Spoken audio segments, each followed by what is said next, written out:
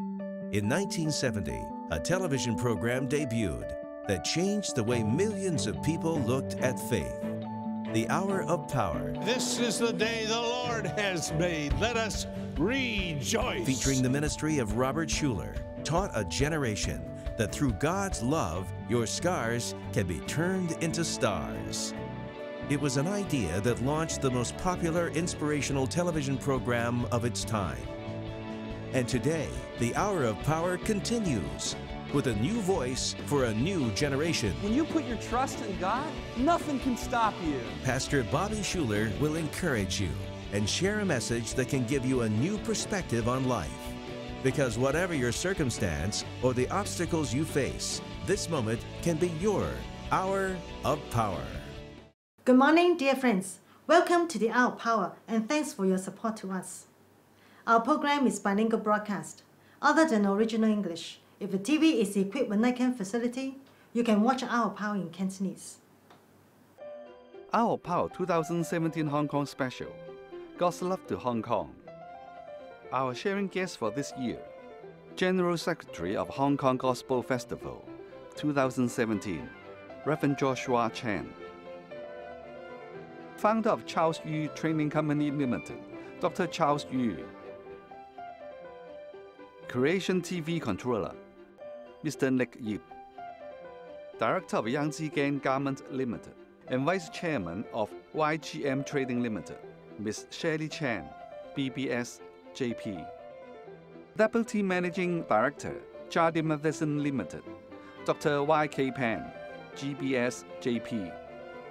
And former member of Legislative Council of Hong Kong SAR, Mr. Lau Chin Shek, JP. Our Power 2017 Hong Kong Special. God's Love to Hong Kong. Stay tuned. Dear friends of Our Power, today is Our Power 2017 Hong Kong Special, the last episode of God's Love to Hong Kong.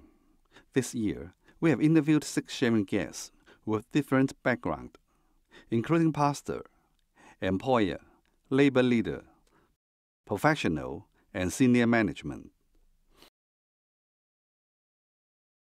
They come from different background. Each of them is having their own stories. The life journeys of some people are smooth, but some are bumpy. Some are involving different areas of works, but some are focusing on one area. Anyhow, their lives are very special. They have eternal life. They have the same character. That is, they embrace love and care for others. Whether they are employee, executive, labor leader, employer, from different walks of life, they all manifest love to others. Where does this love come from? This love comes from God. When confronting the many difficulties in life, good times, adversity, the ups and downs in life, they persevere that it is the Lord who guides their every journey. Relying on God's words, they have no fear. Because God is with them, we hope that our friends of our power can attain this blessing. Lord Jesus. May the love of the Lord be with you forevermore. There are many opportunities in Hong Kong, not only business and work opportunities. There are many opportunities to listen to the gospel of Jesus. Thus, there will be more evangelistic events in the future. Though our Power 2017 Hong Kong special came to an end, but there are still many good evangelistic events expecting you to experience Lord Jesus. We hope that you will continue to go to different gatherings to experience God. God bless you. May the Lord be with you forevermore.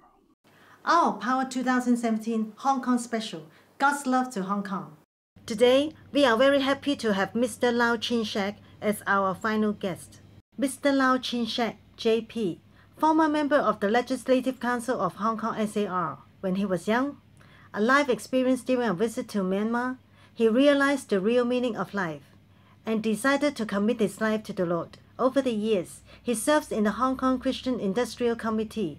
As a labor leader, with the love of Christ and with his heart, he endeavors to help and serve the laborers in Hong Kong. Stay tuned for the sharing of Mr. Lau Chin Shek later in the program. In Jeremiah chapter 29, verse 11, For I know the plans I have for you, declares the Lord plans to prosper you and not to harm you, plans to give you hope and a future. Today, Pastor Bobby Schuller begins his Christmas message. He shares with us God will get us to our destiny. We are all looking for meaning of life, so we tend to seek success, achievements, and trophies to make our lives worthy. But Pastor Bobby Schuller teaches us in the kingdom of God, no matter what we accomplish, our lives matter. In 2 Timothy chapter 1 verse 9, he has saved us and called us to a holy life, not because of anything we have done, but because of his own purpose and grace. This grace was given us in Jesus Christ before the beginning of time. If we are alive, we all have a calling in God, no matter how old or young we are, sick, poor, uneducated. We all have a calling. But one thing Pastor Bobby Schuller advises, we have to focus on our character first, and God will focus on our calling. In the Gospel of Matthew chapter 11 verse 29, Take my yoke upon you and learn from me, for I am gentle and humble in heart.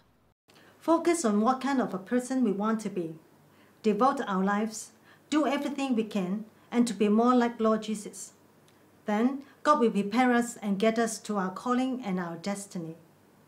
He has saved us and called us to a holy life, not because of anything we have done, but because of His own purpose and grace. This grace was given us in Jesus Christ before the beginning of time.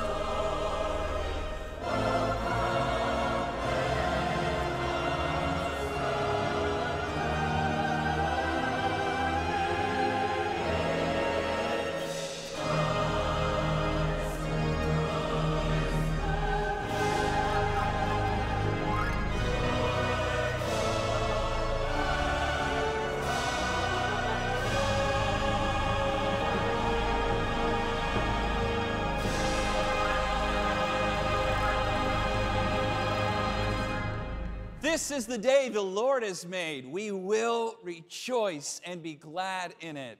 Welcome, welcome. We are so happy to have you. Do we have anybody who it's their first time or they're from out of state or out of country? Would you raise your hand? Welcome. We are so honored to have you. Would you turn around and shake the hands of the person next to you and say, God loves you, and so do I?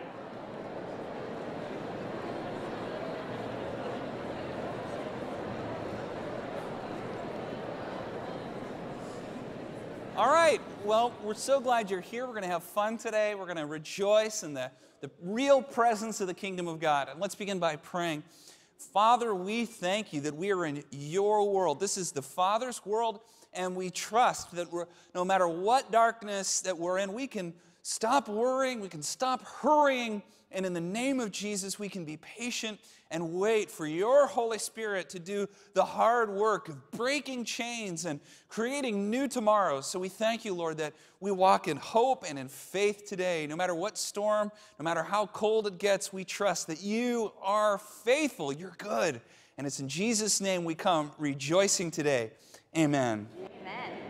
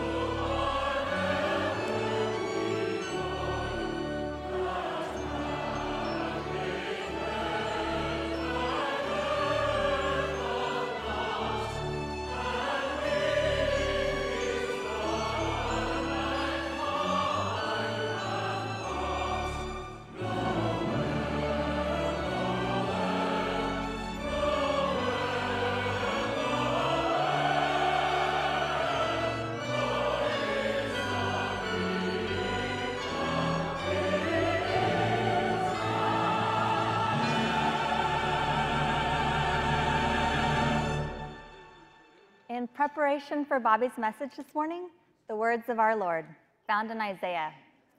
The people walking in darkness have seen a great light.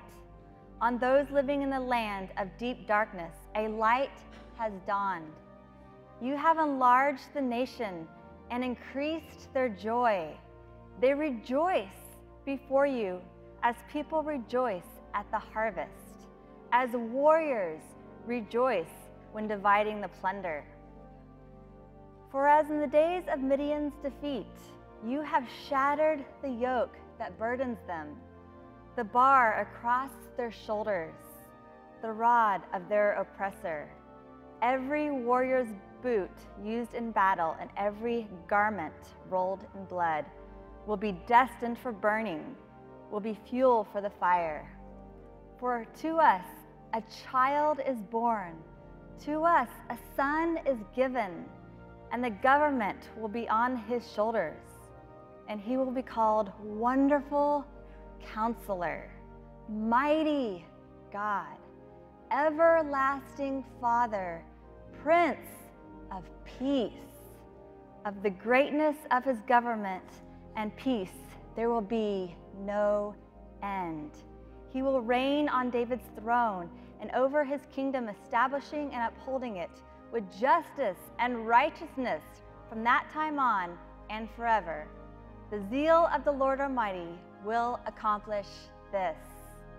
May we rejoice today knowing God will get us, his children, to our destinies.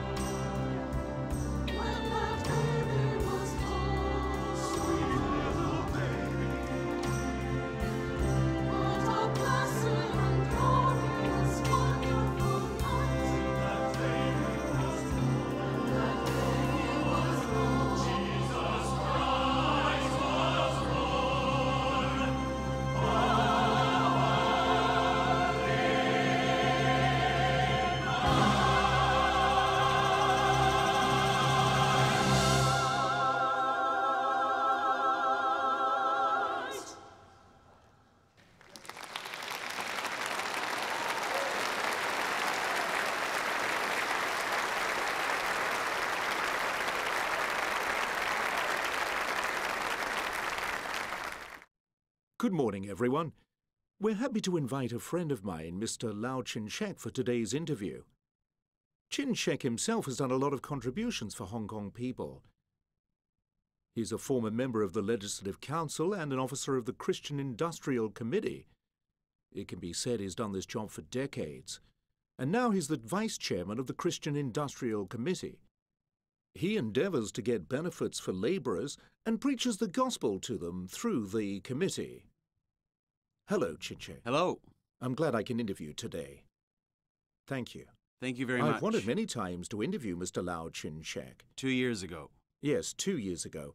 Finally, we have the opportunity to interview him today.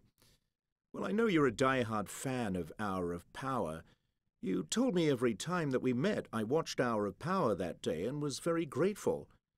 We can say you know much about the development of Hour of Power. Would you please tell us why you like the program Hour of Power? The first reason is the flexibility of airtime.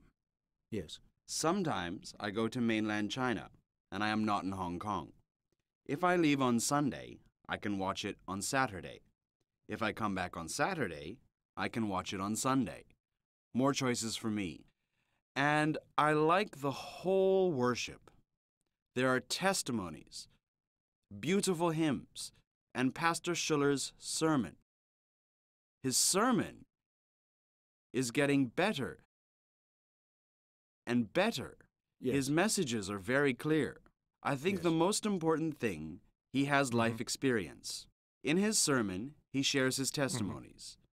Not only Mm. just interpret the Bible. Generally, it would be easier to embrace the whole service, so I often encourage others to watch. Yes, you're right. He is anointed. Well, since a few years ago he's taken over the ministry right up until now, he's more and more confident and is anointed. And I met him several times personally. He has a heart for the service then. He is very genuine. In the whole service, he would share everything that happened to him. Then put God's word into his sermon so that people learn from it while watching. Yes, Pastor Bobby Schuller is a God given young pastor. Young people should watch more of his program. Chin Shek, you've served labourers in Hong Kong for decades now. We really appreciate that. What drives you to serve for so many years? Does your faith have any effect on you then? Honestly speaking, I joined the Christian Industrial Committee in 1971. I wasn't formally hired until February 1972. I was offered the job, but not paid at the time. Someone would call me if there were labor disputes or strikes, and the Labor Department was in Admiralty. I went there and I didn't know anything. I did not know about the labor laws. I only knew that I took up this job. I needed to be involved in the labor disputes or strikes, listen to them, and offer assistance. It began here. In fact, I think that the first one or two years after joining the Industrial Committee, I thought I could really do something. I thought that I had the ability, and they liked me as well. I began to have a sense of accomplishment. But I had a very strong feeling when I got the job done. I felt very lonely. There were many things I wanted to find someone to share with. But I didn't know whom I should find. Hmm. I was in this kind of struggle most of the time. Hmm. Later, in 1974, it was my first trip. I joined a church's mission to Myanmar and Thailand.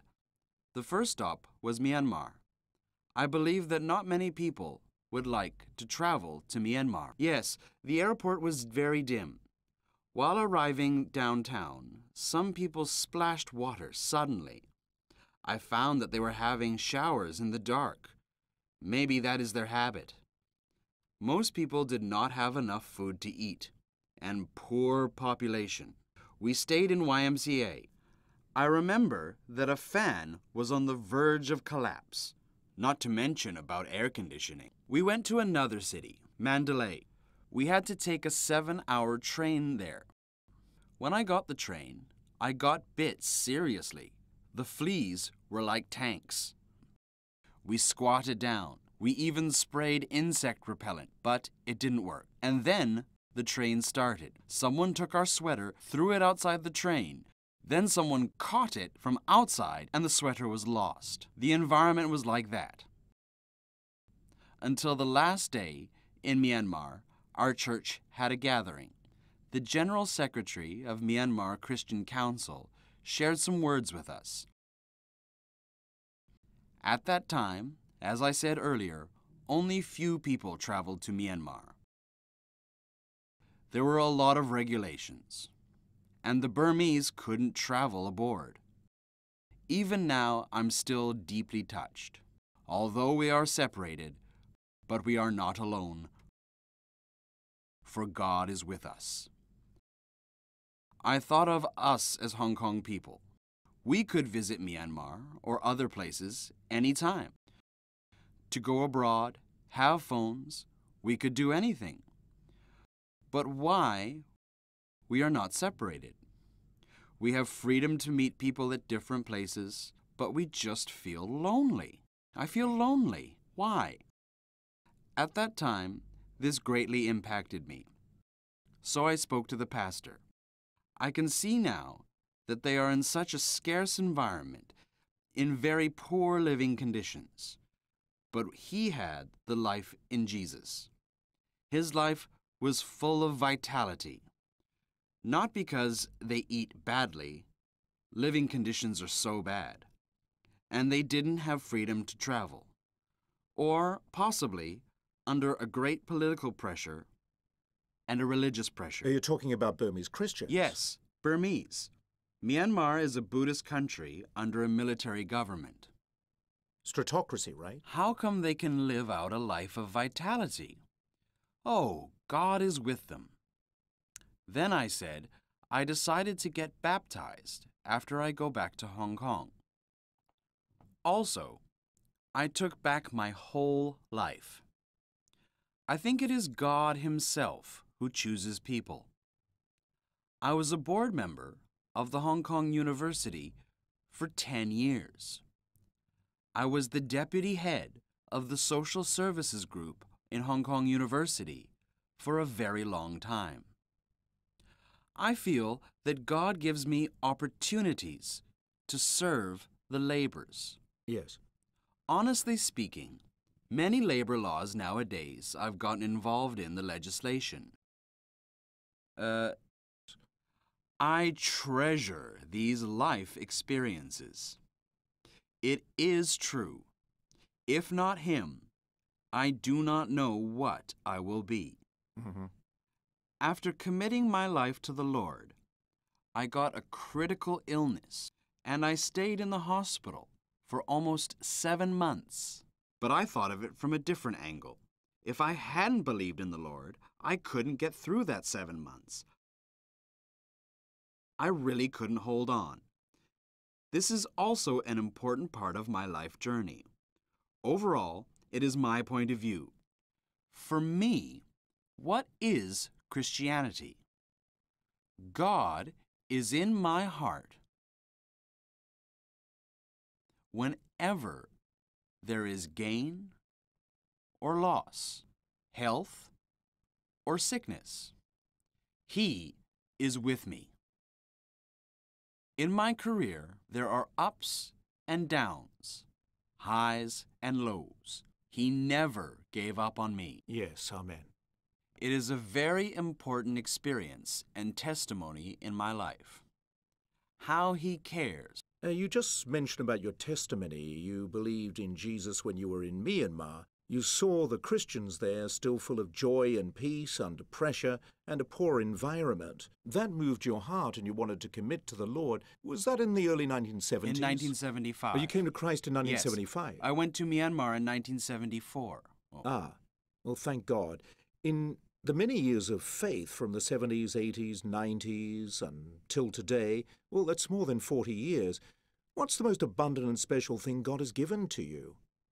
my greatest feeling is whether in storms, in setback, you would feel that someone is with you. Amen. As we always say, you think there's only one set of footprints, but actually, he has already carried you, right? Yes. I have never been worried about the path ahead of me. I know I need to lift up to Him totally to the Lord. Yes, because in the time of Lord Jesus, he was on a ship. No fears in the raging storm. God who calms the storm is also a God who calms the storms in our lives. Whoever trusts in him, and God is leading and blessing in every step. Well, you work so hard for decades in this society to help the grassroots to fight for many benefits for their labours or to serve them. Isn't it because of the love of Jesus who touched your heart so you can persevere? Your work isn't easy, it's exhausting and unrewarding, especially in the past. We are helping the working class with a fear. Frankly, just because you have faith with the Lord Jesus in your heart, these things would not frighten you. It is because it's His work. I am only assisting Him, right? Yes. So, in the process, I feel His grace is sufficient for me. I am really thankful. Through the connections with the workers, I learned a lot. There are so many things that we need to prioritize. For example, in the 70s, what do you think is the most difficult? The most difficult was that some factories closed down. The owners fled. Yes. An no wages. unscrupulous employer. I don't know then. why. Whether it is a lack of conscience or unscrupulousness, but when you work as a worker, you just simply work for a living. Yes, for a when it is time to get paid, you can't find the employer. You don't know how to get your salary. You feel helpless. In the 70s, we began to have some new labor laws, such as the Unpaid Rest Days Act in 1970, the Severance Pay Act in 1974, the Paid Annual Leave Act in 1977, and the Paid Maternity Leave Act in the 80s. However, we always think that if you can't help the workers to get their wage arrears, all other benefits, like paid annual leave, which is only a fringe benefit. Especially once, there was a factory owner who fled. The bank took over, and we got it so that the bank was willing to pay the wage arrears. The workers were waiting outside our office. Then I saw an old lady, very old. She was playing a Rubik's Cube. I asked her, How old are you? She replied, I'm 90 years old. What did she do in the factory? She helped in cutting loose thread. In the 70s? Right, in the 70s, in the factories. I did this before during a she summer told me why she plays the Rubik's Cube. She hoped that it helped train her fingers to be more flexible. In this case, I observed three things. First, she worked till 90 years old and she still had wages in arrears. What was her situation? However, she still tried hard to play the Rubik's Cube. So, for wage arrears, I must find a way to solve. Second, she worked till 90 years old. Why not retired? Why is she not retired? So I had to arrange a pension for them. Third, I saw something from her. To a humble man, what is the meaning of greatness? The greatness is that she was responsible for her work. Not because her job is insignificant and today she had wages in arrears. She didn't give up. She still plays the Rubik's Cube to make her hands more flexible. I am deeply impressed. For me, a lot of things, God gave me a lot of opportunities. When I connected with different people, we had some reflections. What is the meaning of doing this job? You will see that this is not your work. It is God who continues to work.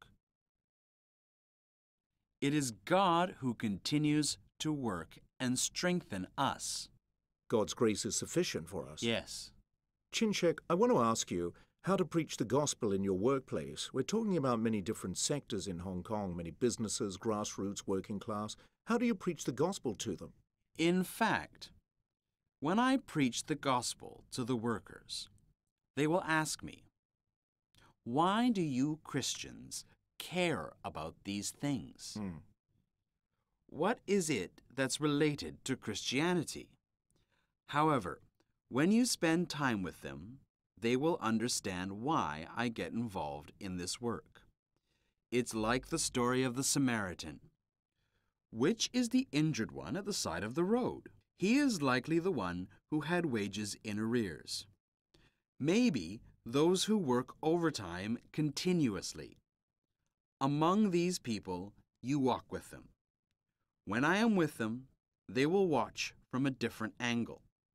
Christianity and the Lord Jesus are like this. I think this is very important because I feel the need to serve them and walk with them. Then you will be worthy to share your faith with them. That is my personal experience. In the past few years, I realize this very deeply.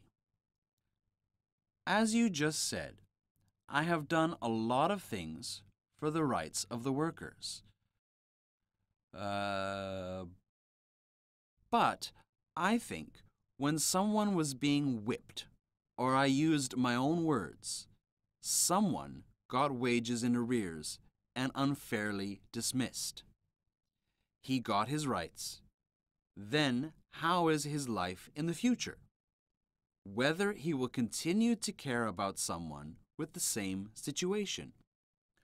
Or he changed his role to bully others. So, I feel the need to have the Lord Jesus in our hearts.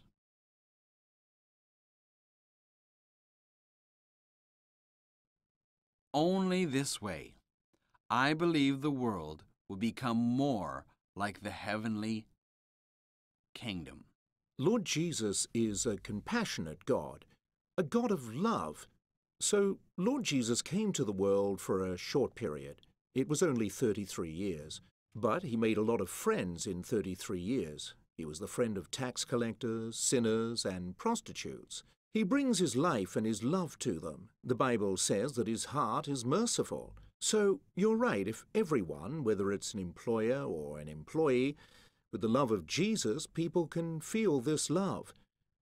And most importantly, is you serve them with your heart. So, I think your role is very important.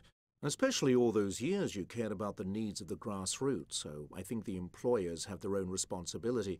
If the employer were Christian, they would treat their employees with justice. When the employees were Christians, they did their best at work. Serving one another in love, that's the most beautiful thing, I think. Yes. At Chin Shek, I sincerely hope you will encourage our friends of Hour of Power how to draw people to the Lord through evangelical meetings. Also, which Bible verse touches you the most all these years? Uh, which Bible verse would that be, do you think? Let's talk about the Bible first. A new command I give to you love one another Amen. as I have loved you. So, you must love one another. By this, everyone will know that you are my disciples, if you love one another. God is among us. The evangelistic event is a chance for people to believe in Jesus.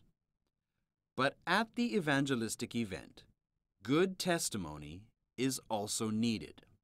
Let them feel that the event is related to our living and to our lives. Right. I believe that this is the thing we want to do. Yes, and yours is a very good testimony. We hope that you can share with us more in other gospel events. Share with the people of Hong Kong, uh, particularly to our workers. They need your testimony to encourage them. Thank you, Chin Thank you. We hope you can share with us again an hour of power. Thanks for your invitation. Thank you. All right, well, good morning. We hope you're having fun today. For those of you who are watching on television, we just want you to know Shepherd's Grove is a movement of God's people that are inviting new people to this celebration every day. We are living every moment in the Father's world, and we want you to come and join us. No matter who you are, we want you to know that we like people here at Shepherd's Grove. And so, no matter what you're going through, we want you to know that this is a safe place to be who you are in the midst of your challenges and become a happy and whole student of Jesus.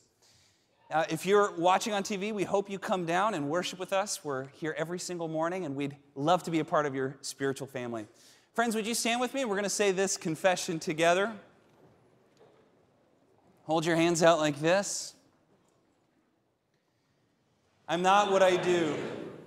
I'm not what I have. I'm not what people say about me.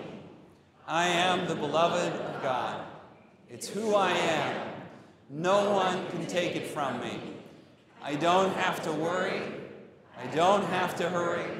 I can trust my friend Jesus and share his love with the world. Thanks. You can be seated. Now, unfortunately, I have actually had the flu the last three days. So, all day Thursday, Friday, and Saturday, I was sick in bed. And uh, I, sort of, I put together a little something today. I emailed the team last night with some slides. But today, I'm, I'm really going to be speaking more from the heart, meaning that I haven't prepared as much as I normally am. So, have a, a bit of grace with me. But I, I really just want to speak from the heart. I, I want to begin, um, as we've been in this series of Advent. Advent is a time in which uh, you're waiting for something. And so Advent means the arrival. It means that that thing you've been waiting for has come. And so for us, Advent becomes a time in which we build up within ourselves hope. That Jesus himself becomes a symbol uh, and the actual reality of all the things that we hope for. And that as we wait in the milieu of life, you know, the suffering of sickness or, or poverty or the other challenges that we face, and in the midst of all of that, we serve the kind of God who breaks into darkness. Somehow God tends to break through and bring us the miracle we need. So Advent is a time of training into our soul um, rhythms and, and, and uh, a spirit of hope. God will get you to your destiny. Today, I want to talk about the idea that although all of us have a calling in God, too often we're focused on our calling and not our character. And that if you focus on your character, God will focus on your calling. I, there is a huge, looming fear in all people that, well, when it, it's all said and done, I didn't do anything with my life that truly mattered almost all of us live with a daily fear that my life won't matter, that I need to do something spectacular. And this is a big challenge. And the, it seems like the wealthier our nations become, the more this existential question becomes a major issue for us. And so I just want to begin by saying this In the kingdom of God, no matter what you accomplish, uh, your life matters. Can we just say that? That no matter what you do, no matter what trophies you have on the wall, no matter what you can say at your retirement party, or even what you can say on your deathbed, no matter what you accomplish, your life matters. Your life matters because you are loved by God. And that's very good news. And too often we think that our lives, we have to earn something to make our lives worth anything. So many of us were like, we're so scared that, it's, that our life's not going to be mattered, that our, life's not going to matter. And it does, it always matters. We know that there is a heaven, and we know God is faithful, and we know He is our Father. And just like any father wouldn't abandon his kids, we know God won't abandon us. Amen? The more you can build that knowledge into your soul that you're a ceaseless being with an, an eternal destiny in God's good universe, as Dallas Willard said, the less you worry about always doing something spectacular and fantastic. That's a big concern, isn't it? I mean, I just feel that so many people are so worried that I'm going to die and my life is not going to matter. And I just think about all the good people in the past who knew the Lord that had simple lives, that, that were farmers or they worked the same job all of their lives, but they were faithful to the gospel and they knew Jesus and they loved the Lord. Did their lives matter? Of course they did. Every life matters. And guess what? Not all of us are going to be Julius Caesar or Brad Pitt or the President of the United States, okay? There's only, only a handful of people in history are going to do that, and in the kingdom of God, they're the lowest. That's what Jesus teaches us. That if you want to be the greatest, you become a servant, that you become humble and you become like Jesus. And there will be a day when we get to heaven that we'll see that that makes sense. so I just want to begin by saying, don't worry. Your life matters, not because of what you do. Your life matters because you're a human being and you're loved by God. You're treasured. All right? Can we just establish that? Okay. God does not value you or love you more because of your trophies. So let's talk about calling, okay? But all of us do have a calling, and I just want to say four things before I actually get into the text. Four things about reflections on calling. Number one, I just want to say that all of us have more than one calling. All of us have more than one calling. We always think that there's this one great thing we're supposed to do in life, but let me just tell you that all of us have multiple callings all the time, that God calls us to do this, and later He calls us to do that. Think about Jesus. We always think that Jesus had one calling, but He didn't really start His ministry until He was 30. Jesus, as a, as a child, was a faithful student. And then later, He was a faithful carpenter. And He built things, and He had to work with people constantly. And all of that time, God was preparing him for the next calling, which was to be a rabbi. And even then, think about Jesus. He had 12 disciples. He's from a little podunk part of the empire that nobody really cared about. He wasn't even from Jerusalem, he was from like the northern outskirts. You know, but that was his calling, and God used those things uh, for, for major, major, obviously, to change the whole world. So you never have just one calling. Number two, every calling comes to an end. This is maybe one of the saddest things because for many of us, when we're doing what God has called us to do, is I'm doing what I was born to do. Sometimes it suddenly comes to an end. We get fired, or we get an injury, or sick, or or, or a divorce, or, or, or some twist happens in the plot, we just weren't expecting that, and we think, that's what I was called to do. How could God let this happen? But every calling comes to an end. No matter where you are in life, you are in a season. And seasons come and seasons go. And, if, and that's, that should give you hope because if you're in a place of sort of an in betweenness, well, God still has another calling for you. Number three, and I already said this, but your calling is not your identity. You know, I, I may be a pastor, and that's what I'm called to do at this time, but someday I may not be a pastor. And uh, that's not who I am. If what we do vocationally or what we do for a living becomes a part of our identity, then our soul is on a roller coaster because if that thing gets taken away from us, we lose our sense of who we are. And so our life becomes fragmented as we try and search for a new identity. The one thing that will never change in your life is that you are loved that God loves you, will never stop loving you. There's nothing you can do to change that. That is the constant. And if our lives are rooted in that truth, we will have a deep sense of peace and joy in everything else we do. Amen? Amen? Number four, and this is the thing I really want you to hear. If you're alive, you have a calling. If you are alive, you have a calling. I just want to say this. You didn't miss out on your calling. And you say, You don't understand. I've been giving a week to live. You didn't miss out on your calling. You don't understand. I went through divorce. You didn't miss out on your calling. You don't understand. I, I kind of feel like I've lost my faith. I don't know where I'm going. You didn't miss out on your calling. You have a calling right now. God's calling you to do something. It doesn't matter how old you are, sick, poor, uneducated, young, you have a calling. Look, there's nothing more inspiring than seeing people at the end of their rope pursuing knowledge, pursuing growth, and pursuing God's best for others. Look, if you're alive, you're alive for a reason. If you're alive, you have a calling. And that's very, very good news. All that to simply say, friends, focus on your character, and God will get you to your calling. Look at the habits in your life, the little things, and devote your life to becoming more like Jesus, to becoming a Sermon on the Mount kind of person. Do everything you can to live and be more like Jesus, and God will get you to your calling.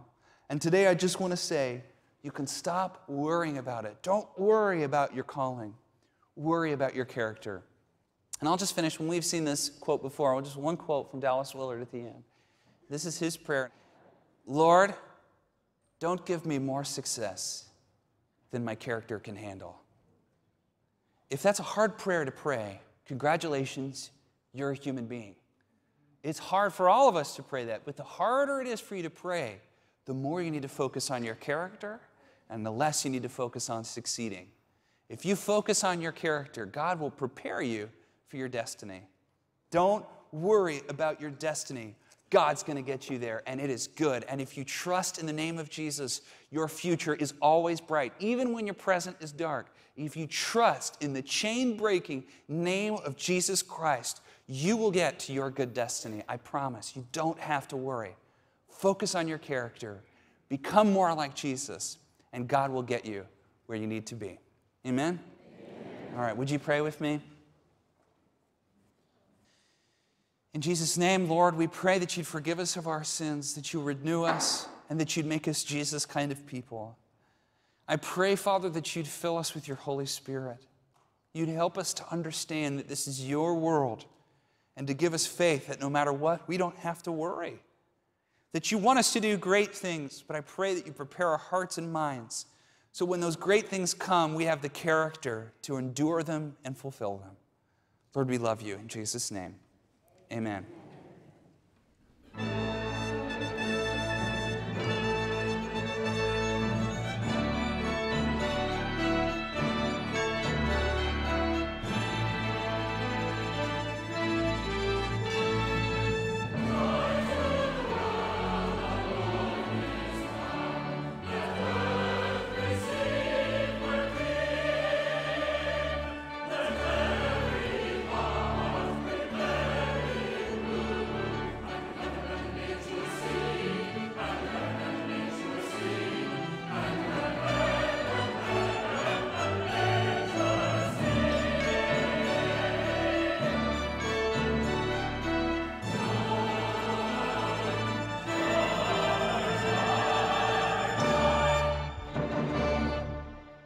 Thanks, friends, for being here. I, I, I, hope that you leave encouraged, renewed, and restored. And now the Lord bless you and keep you. The Lord make his face to shine upon you and be gracious unto you. The Lord lift his countenance upon you and give you his peace. In the name of the Father, and of the Son, and of the Holy Spirit. Amen. Thanks for watching our power and your support to us. Today is the last episode of our Our Power 2017 Hong Kong special, God's Love to Hong Kong. Our Power 2017 Hong Kong special, God's Love to Hong Kong. Our sharing guest for this year, General Secretary of Hong Kong Gospel Festival 2017, Reverend Joshua Chan. Founder of Charles Yu Training Company Limited, Dr. Charles Yu. Creation TV Controller, Mr. Nick Yip. Director of Yangtzekiang Garment Limited and Vice Chairman of YGM Trading Limited, Ms. Shirley Chan, BBS JP. Deputy Managing Director, Jardine Matheson Limited, Dr. YK Pang, GBS JP. and former member of Legislative Council of Hong Kong SAR, Mr. Lau Chin Shek, JP. Our Power 2017 Hong Kong Special. God's Love to Hong Kong. Dear friends of Our Power, today is Our Power 2017 Hong Kong Special, the last episode of God's Love to Hong Kong. This year, we have interviewed six sharing guests with different background, including pastor, employer, labor leader, professional, and senior management. They come from different background. Each of them is having their own stories. The life journeys of some people are smooth, but some are bumpy. Some are involving different areas of works, but some are focusing on one area. Anyhow, their lives are very special. They have eternal life. They have the same character. That is, they embrace love and care for others. Whether they are employee, executive, labor leader, employer, from different walks of life, they all manifest love to others. Where does this love come from? This love comes from God. When confronting the many difficulties in life, good times, adversity, the ups and downs in life, they persevere that it is the Lord who guides their every journey. Relying on God's works, they have no fear. Because God is with them, we hope that our friends of our power can attain this blessing. Lord Jesus. May the love of the Lord be with you forevermore. There are many opportunities in Hong Kong, not only business and work opportunities. There are many opportunities to listen to the gospel of Jesus. Thus, there will be more evangelistic events in the future.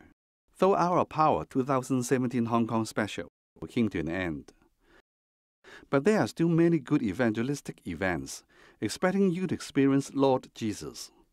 We hope that you will continue to go to different gatherings to experience God. God bless you. May the Lord be with you forevermore.